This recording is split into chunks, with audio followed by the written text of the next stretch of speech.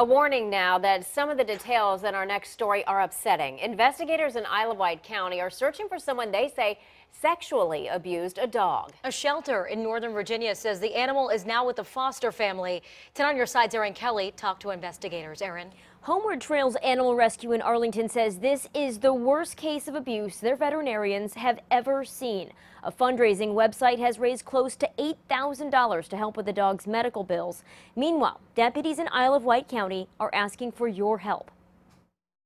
Earlier this month, deputies in Isle of Wight County say a Good Samaritan found this dog on Tyler Drive in Windsor. She was in rough shape. The dog received some veterinary care here in the county and then ultimately was sent to the rescue in Northern Virginia. According to Lieutenant Tommy Potter, the staff at Homeward Trails Animal Rescue noticed the dog, who had been named Huggles, wasn't getting better and performed surgery.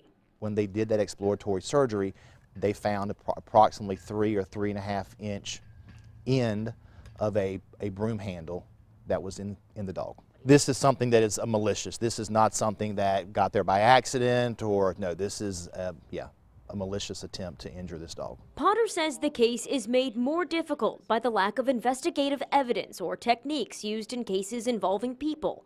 No DNA, no fingerprints.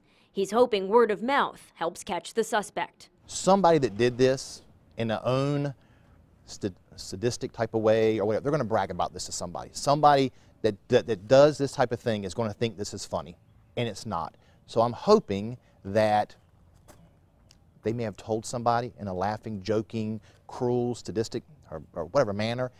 I'm hoping somebody knows something. That's, that's how we're going to do this. The sheriff's office wants to know who previously owned the dog, though they're not saying whoever did is responsible for the crime. And we've just learned PETA is offering a $5,000 reward in connection with this case. Erin Kelly, 10 on your side.